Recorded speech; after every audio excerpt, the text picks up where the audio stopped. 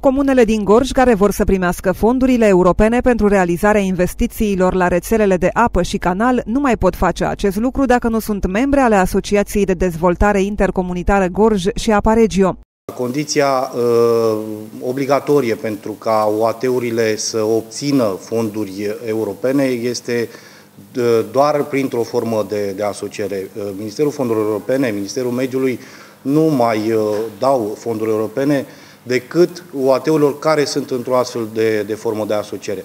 Pe, uh, pentru rețelele de apă nu se vor obține fonduri decât dacă vor accesa și fonduri pentru rețelele de canalizare, iar pentru rețelele de canalizare este obligativitate în, uh, încă din 2007 ca OAT-urile să fie într-o formă de asociere, de aceea este obligatoriu pentru uh, toate uh, localitățile din județul Gorj și din România, dacă își doresc să acceseze fonduri europene, trebuie să fie într-o astfel de, de formă de, de asociere.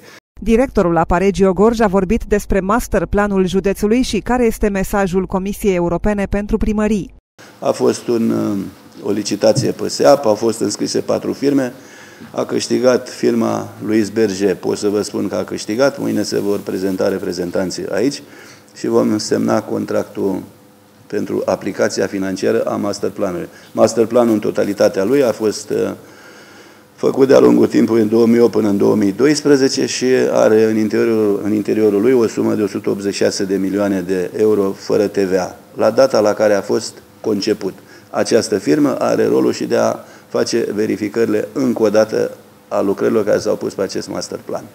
Așadar, primăriile din localitățile gorgene care nu fac parte din această asociație trebuie să urgenteze procedurile de aderare. În caz contrar, acestea nu vor putea accesa banii europeni.